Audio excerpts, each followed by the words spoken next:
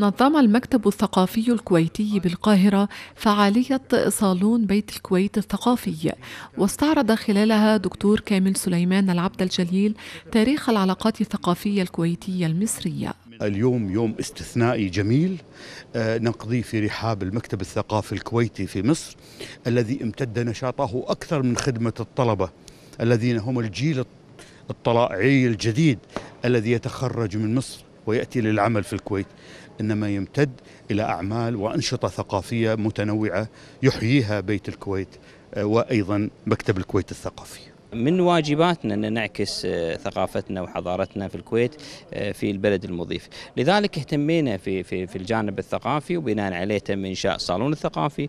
وأيضا نحاول نعمل اتفاقيات مع مع جهات تعنى بالثقافة في الكويت آه، حتى يكون بيننا وبينهم اتفاقيات ومن ثم يمدون بعض الكتب لأهمية الثقافة لا شك يعني. تضمن الصالون عقد اتفاق تعاوني بين المجلس الوطني والمكتب الثقافي من خلال إصدارات المجلس الأعلى والذي ضم العديد العديد من الكتب والإصدارات.